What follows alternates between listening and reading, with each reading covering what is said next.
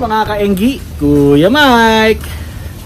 Alright, so siguro may nakikita kayong bago dito sa ating uh, pwesto, no? Shoutout nga pala sa iyo, Chris Jor. Napakaganda na itong uh, aquarium na binaga, binahagi mo sa akin, no? Alright.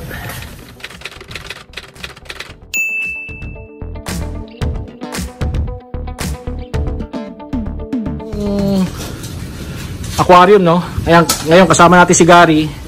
Lilinisin muna namin yung mga trickle filter tapos uh, linisin na rin tong bagong uh, bago nating aquarium, no? So 5 feet to, 5 by 2 by 2, no? 120 gallons. Kasi ito rin sa baba. So dalawang aquarium to. Ngayon ito si Gary. Lilinisin lang namin yung filter. Alright?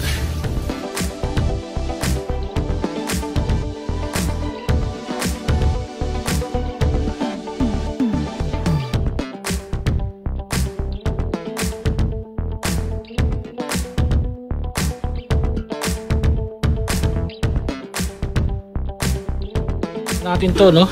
Ito yung bagong aquarium no? Galing pala to kay uh, Fish Avenue no? Yun!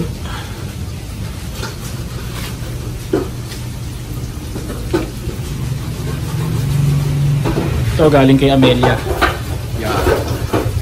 so brasin muna tong uh, aquarium para matanggal yung dumi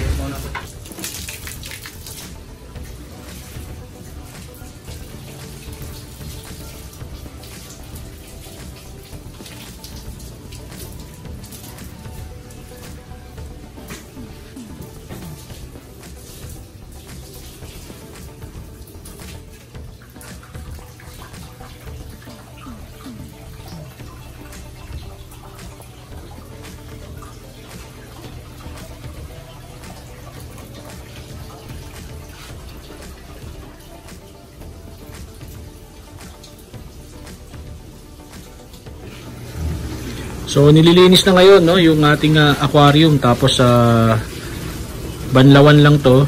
Pagtas banlawan ay uh, leak test naman no. All right. Mga kaingi, so tapos na linisin yung mga trickle filter natin no. Ngayon naman uh, nalinis na to kanina, lalagyan natin ng tubig para sa leak test. Pagka nag-okay na yan bukas, walang tagas, drain ng tubig, palit ng bago tapos sa uh, cycle na tayo no?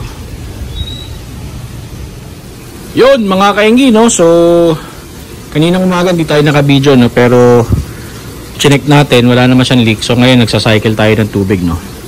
So galing doon yung mga media doon ayun naka nakalubog na doon no? At uh, nagbawas rin tayo ng tubig tapos pinipilapan na natin no?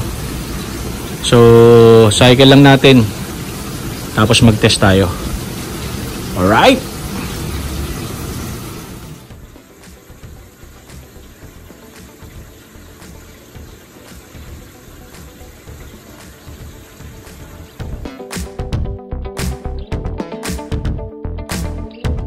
Yun mga kaingi no. So ready na tong tank natin para do sa grow out event no. Sana magkaroon tayo ng budget para makasali tayo no.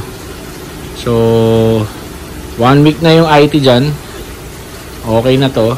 Kung sa baba, sinacycle ko na yung tubig. So, dalawa, pwede natin isali if ever, no?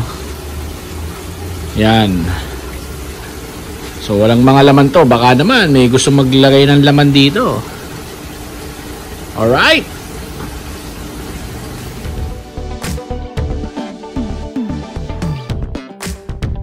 So syempre bigyan ko na rin kayo ng update dito sa atin kay Sam no, yung ating uh, ah, RDC Super Red Arwana no. One year old na to sa akin. Ayan, yan po ang kanyang uh, itsura on a white light. White background.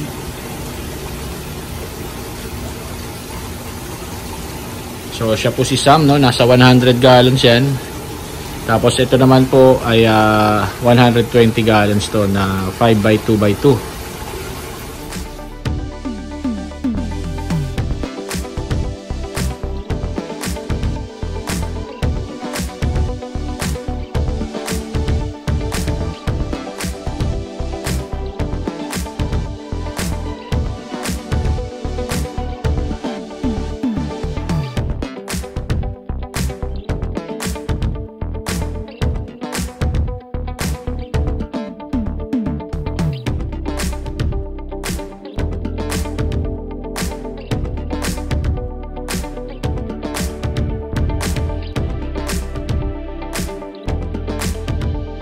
Yun mga kaigi, no? So, shoutout nga pala sa iyo, Chris Jor. Napakaganda na itong uh, tangke na to, no? Napakakapal ng lam uh, ng salamin, pakalinaw, walang tagas. Yan, no? Dalawa po, dalawa yan, mga kaigi, no? So, lalagyan lang natin ng ilaw yung ilalim, tapos uh, good to go na rin yan, mga kaigi. Alright! So yun mga kaingi, kung nagustuhan nyo itong video na to, please consider subscribing. Like and share nyo na rin uh, itong video na to no, para mas dumami pa tayo sa ating community. At uh, yun nga pala, no? yun nga, si Animal, meron po siyang uh, grow out event 2. No? Puntahan nyo na lang po yung kanilang uh, Facebook page, no? yung Animal. At uh, para makita nyo dun yung uh, mechanics kung paano po makasali. Alright! So, yun mga kainggi. Alam na this. Bye-bye. Alright.